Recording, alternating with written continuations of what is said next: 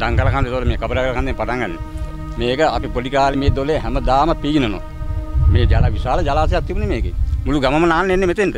මාස දෙකේ තුන පෑවුවත් වතුර හින්දෙන්නේ නැහැ. මේ දොලේ වතුර තමයි පරාදීන කට්ටිය බිව්වේ. දැන් සම්පූර්ණ මේ දොල හිඳිලා මේ වෙල් ජායවල ඇරුණා.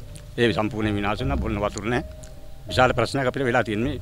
මේ පයින්ස් වගාවෙන් පස්සේ තමයි මේ ඔක්කොම සිද්ධ වුනේ. මේ පයින්ස් වගාව ආරම්භ කළ දවසේ ඉඳලා දිගින් දිගට දිගින් දිගට හෙමින් හෙමින් වතුර නැති වෙලා ගිහලා අද මහ වැස්සකට ගලනවා හැරෙන්න මේ දොල නෑ මේ පහල කුඹුරු ආයවල් ඔක්කොම ඇරිලා මිනිස්සුන්ගේ ලිංග වල වතුර නෑ බොන්න වතුර නෑ නාන්න විදියක් නෑ සතෙකුට වතුර බොන්න නෑ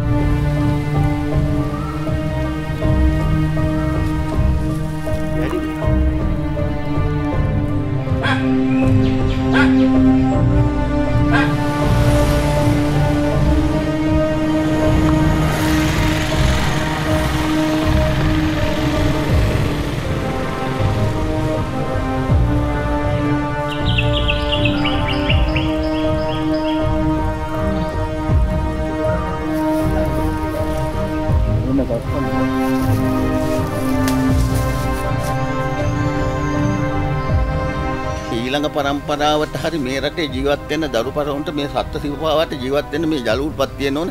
ඉතින් කරුණා කරලා මේ පයින්ස් වගා ඉවත් කරන්න ඕන.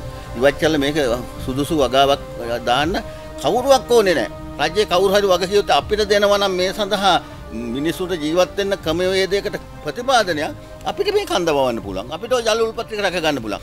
මේ අසාධාරණයෙන් මේ පුංචි ඊළඟ පරම්පරාව බේර ගන්න ඕන අපිට මේ දොළ ජල සම්පත මේ කැලෑව රැකලා දෙන්නේ කියන තමයි ඉල්ලන්න තියෙන්නේ.